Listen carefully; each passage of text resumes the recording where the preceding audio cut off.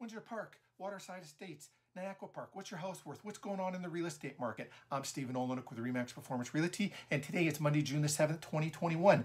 And there are eight residential detached homes on the market according to MLS. Five came to market in the last seven days. Zero have gone pending. One has sold. Minimum list price 259000 That's a 770 square foot home. Maximum list price $395,800, and that's a 1965 square foot home. Average list price of the eight homes on the market is 342000 1,925 and the square footage is 1,160 is the average of the one home that sold. Average sold price is 395,800 with six days on the market and selling at 118.2% of list price.